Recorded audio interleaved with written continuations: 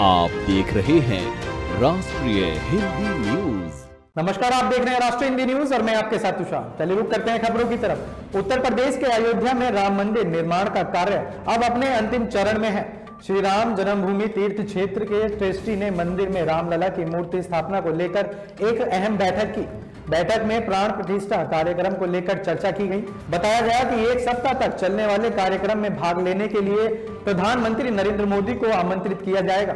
साथ ही जानकारी के लिए आपको बता दें कि रामलला प्रतिमा के प्राण प्रतिष्ठा समारोह की तारीख अभी तक तय नहीं की गई है, लेकिन इसे जनवरी 2024 में होने की संभावना जताई जा रही है। फ़िलहाल के लिए इतना ही। देश दुनिया की तमाम बड़ी खबरों को जानने के लिए बने रहे। राष्ट्रीय हिंदी न्यूज़ के साथ। जय हिंद।